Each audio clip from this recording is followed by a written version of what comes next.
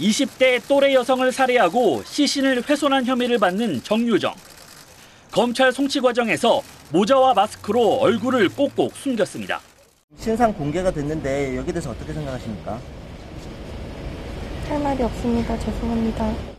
경찰이 신상 공개를 결정하고 정유정의 과거 증명 사진을 공개했지만 현재 얼굴을 확인하지 못한 겁니다. 인터넷에선 정유정의 과거 증명 사진을 임의로 수정한 사진이 확산하는 등 신상 공개 실효성에 의문을 제기하는 목소리가 들끓었습니다. 이렇게 강력범죄자 신상 공개 때마다 현재 모습과 차이가 크다는 지적이 끊이질 않으면서 현재 국회에는 여야의 이른바 머그샷 공개법이 7건이나 발의돼 있습니다.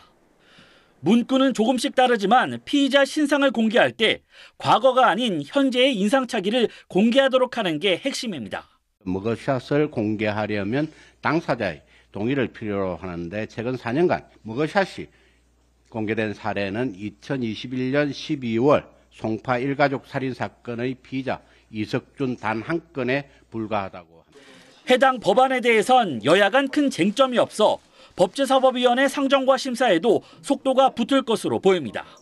다만 무죄 추정의 원칙을 침해할 수 있는 만큼 재판에서 유죄로 확정된 뒤에 신상을 공개해야 한다는 반론도 여전히 제기되고 있습니다. SBS 이성훈입니다.